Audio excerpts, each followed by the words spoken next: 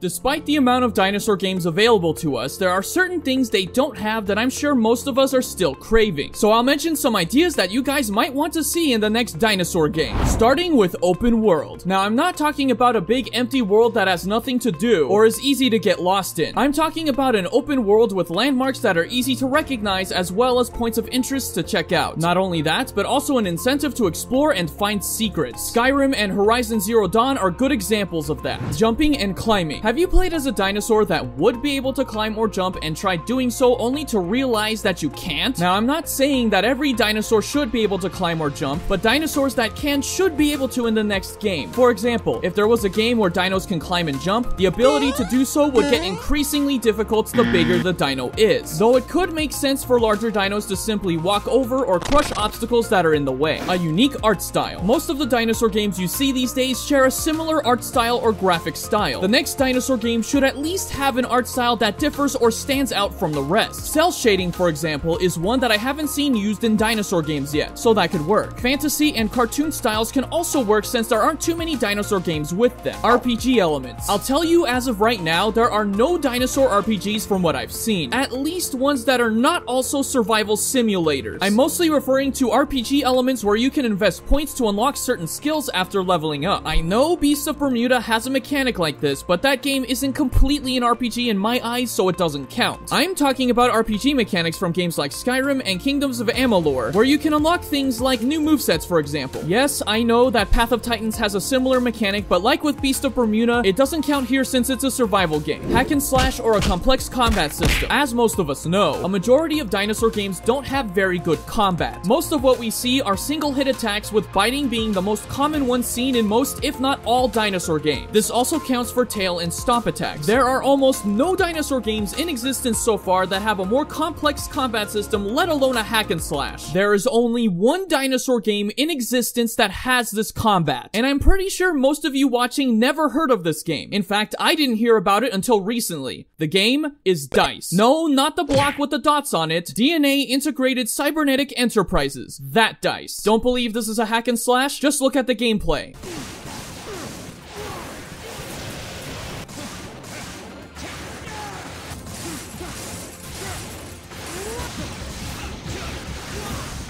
Now, I know it's not technically a dinosaur game because the dinosaurs are robots, but I'm counting it. It was released back in 2005 on the PlayStation 2. Man, how did I not know about this game as a kid? Not only does this game have hack and slash combat, but you can also pick up and throw enemies. Like, what? So I do think the next dinosaur game should absolutely either have hack and slash or a more complex combat system since DICE is literally the only game that has it. That and the game isn't that great. While these are things we want to see in the next dinosaur game, there are also things we do not want. You can find that out on this video next as I explain the reasons of why having these things is a bad idea.